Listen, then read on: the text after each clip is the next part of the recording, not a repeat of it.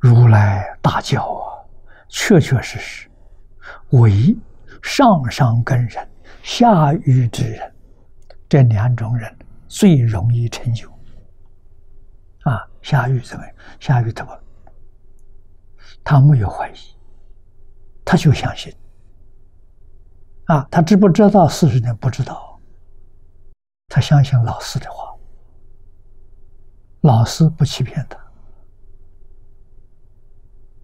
啊，我们很难的，比这两种比不上，比上当然比不上，比下也比不上。啊，下能不怀疑？我们怀疑。啊，老师把这个法门介绍给我，我们要在这个法门里头，啊，兜圈子，兜了三十年，才相信。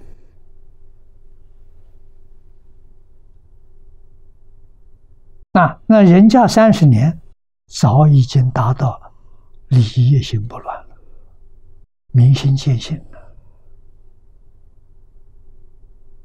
啊，我们这三十年兜圈子，原地踏步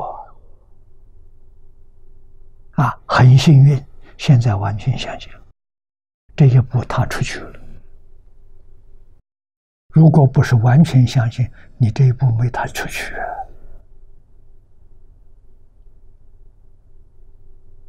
啊这一步没踏出，还在原地。啊，真踏出去是什么现象？确实，对于这个世出世间一切法，不再放在心上，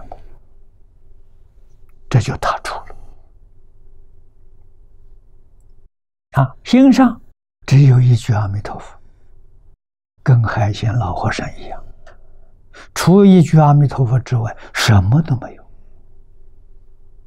为什么这一句阿弥陀佛同是一切法？一切法是枝叶了，阿弥陀佛是根本呐！啊，我找到根本了，枝叶全放下了，啊，真的受用。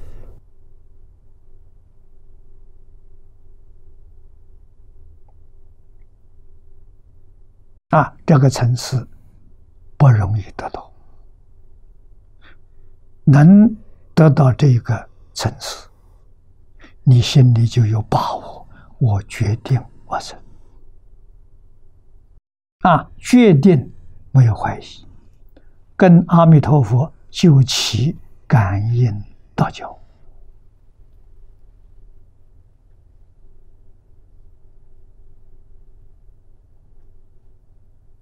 啊，真正不可思议的情节。